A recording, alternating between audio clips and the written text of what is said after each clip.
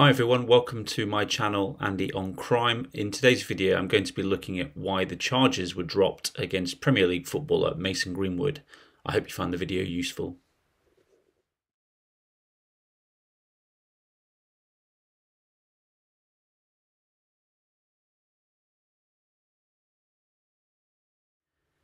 Now this case came about in January 2022 when an individual posted images alleging injury was caused to them, as well as an audio clip purporting to be of Mason Greenwood, the Manchester United footballer, which alleges that he engaged in non consensual sexual behaviour.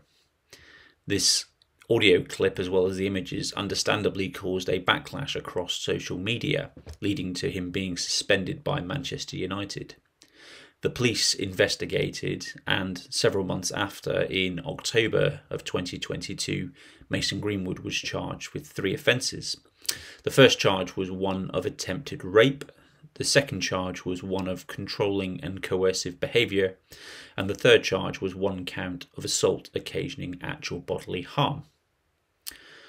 On the 2nd of February 2023, prior to standing trial, the Crown Prosecution Service announced that it was discontinuing the case against Mason Greenwood, meaning the charges would be dropped.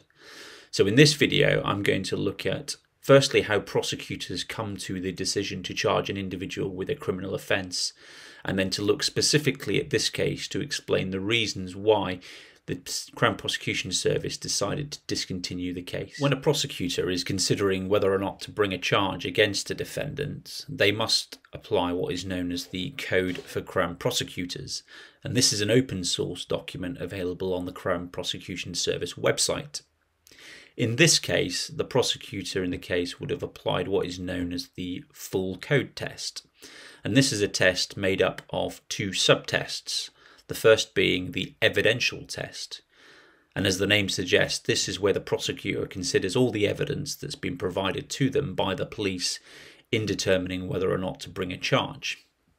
When applying the evidential test, they're looking at whether or not there is a sufficient prospect or sufficient evidence to provide a realistic prospect of conviction against a suspect on any individual charge and they look at not only the evidence that's been provided by the police, but they also consider what any defence might be and how that may affect the prospect of conviction.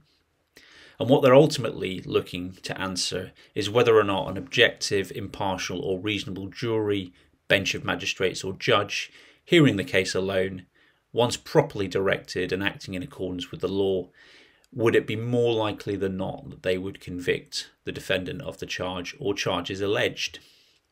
And if the answer to that question is yes, then it passes the evidential test. It's important to note that what they're not considering at this stage is whether or not a jury, magistrates, or bench would be sure. That's the criminal standard of proof, but that's not what is being considered at this stage. The second test that's applied is what's known as the public interest test. And that's really considering whether or not a prosecution is in the public interest.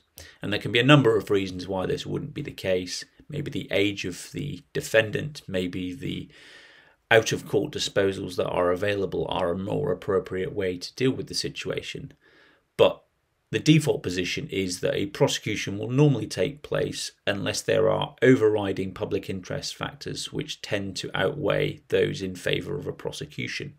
And we saw an example of this with uh, Prince Philip, who was involved in a car accident which he could potentially have been prosecuted for. Ultimately, he, he gave up his licence, which would have been the likely punishment in any event, and therefore it was deemed not in the public interest to prosecute him. But in the case of Mason Greenwood, it was uh, determined that both the evidential test and the public interest test was satisfied. Therefore, the full code test was satisfied, and three charges, which I mentioned earlier, were brought against him. So, what changed, and why was the case discontinued? Once a prosecutor has determined that the full code test has been met, they remain under an obligation to continually review the case when new evidence or circumstances change which might affect the full code test. It's not simply a case of them reviewing the evidence at the time of arrest, making a charging decision, and then waiting until trial. A prosecutor must keep an open mind and consider new evidence or new circumstances which may affect their original decision.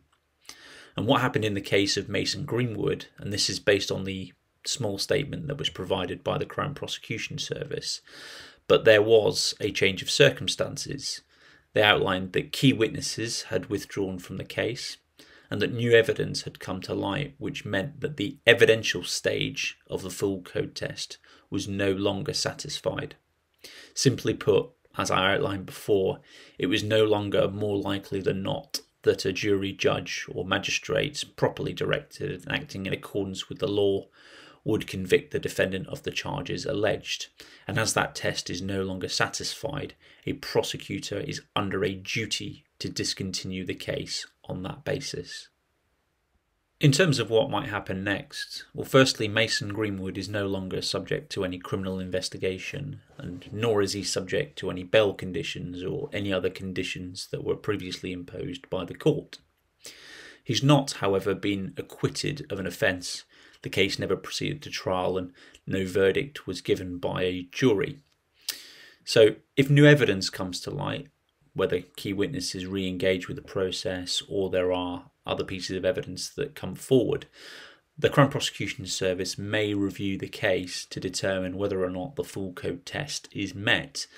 And then, if it is, they may bring any new charges which are deemed appropriate.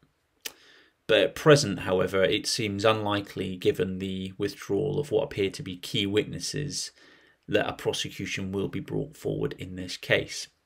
So, to summarise this case, the Crown Prosecution Service applied the full code tests originally and determined that it was met and brought three charges against Mason Greenwood. However, under their duty to continually review the case, it was determined due to the withdrawal of key witnesses and new evidence coming to light that the full code test was no longer satisfied and they therefore discontinued the case against Mason Greenwood. Thanks for watching. I hope you found this video informative. If you do have any comments, please post them down below. If you did enjoy this, then consider giving this a like. And if you'd like to see more, consider subscribing to my channel where I do criminal shorts on a daily basis talking about criminal law. And I'm also aiming to do more review videos like this. Thanks for watching. Take care.